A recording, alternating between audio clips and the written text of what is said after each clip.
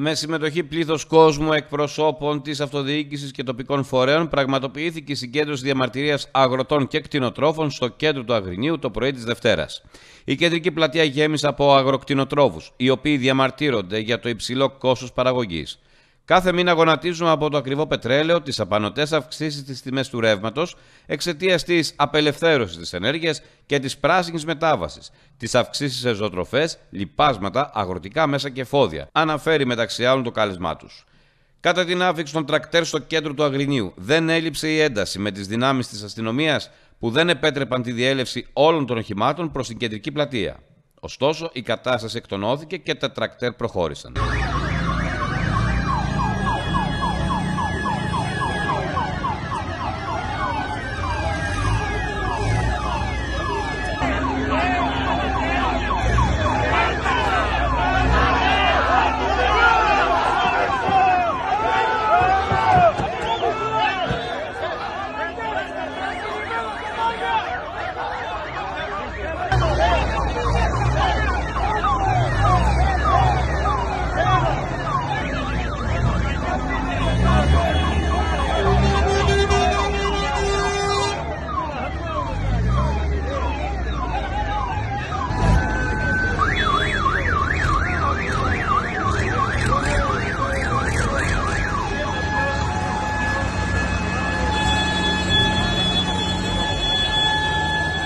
Στη συγκέντρωση, εκτός από τον πρόεδρο της Ομοσπονδίας Αγροτικών Συλλόγων Έτολα Καρνανίας, Σπύρο Κοτοπούλη, στους συγκεντρωμένους μίλησαν ο Δήμαρχος Αγρινίου Γιώργος Παπαναστασίου, ο εντεταλμένο σύμβουλος του Περιφερειάρχη και Περιφερειακός Σύμβουλος Γιώργος Κοντογιάννης, που εισέπραξε και αποδοκιμασίες από το συγκεντρωμένο πλήθος, εκπρόσωποι του Εμπορικού Συλλόγου, του Εργατικού Κέντρου, του Αγροτικού Συλλόγου Νεοχωρίου, του Αγροτικού Συλλόγου Αγράφων, ο πρόεδρος του Ινστιτούτου Καταναλωτών Ελλάδος Γιώργος Λεχουρίτης, οι εκπρόσωποι της Συγκιστική των Αγροτών, καθώς επίσης και άλλοι φορείς τρόφιμα που φτάνουν τελικά από τον αγρότη και τον κτηνοτρόφο στο ράφι με πολλαπλασιαστική τιμή. Θα πρέπει κάποιοι να κατανοήσουν ότι θα πρέπει να στηριχτεί ο πρωτογενής τομέας, οι αγρότες και οι κτηνοτρόφοι μας, γιατί αλλιώς δεν θα υπάρχει Ελλάδα σε Τώρα με τα πόδια μετά με το τρακτέρ, αν δεν δικαιωθούμε θα γίνει κυλαλέρ.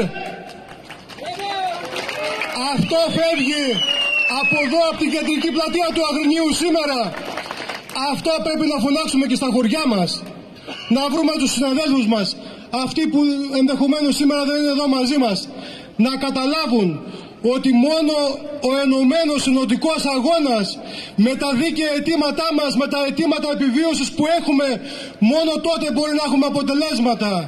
Χαιρετίζουμε όμως ιδιαίτερα όλους τους αγρότες σε όλη την Ευρωπαϊκή Ένωση από τη Γερμανία, τη Γαλλία, τη Ρουμανία σε όλη την Ελλάδα από τον Εύρο μέχρι την Κρήτη που φωνάζουμε μαζί τους ότι ο κόμπος έχει φτάσει στο χτένι, δεν αντέχουμε άλλο.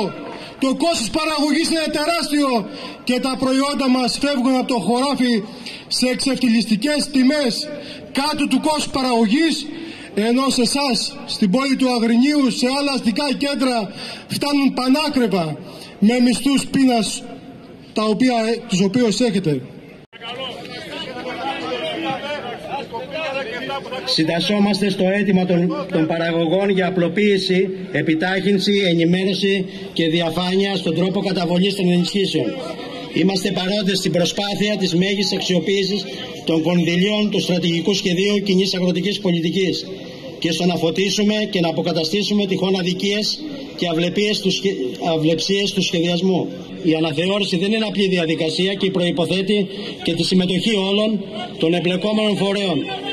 Ως περιφέρεια θα προτείνουμε σε αυτή τη διαδικασία στο ΙΠΑΤ τον ενεργότερο ρόλο των περιφερειακών αυτοδιοικήσεων και είμαστε στη διάθεση των αγροτών και των φορέων να συνεργαστούμε. Η ακρίβεια δεν είναι για όλους.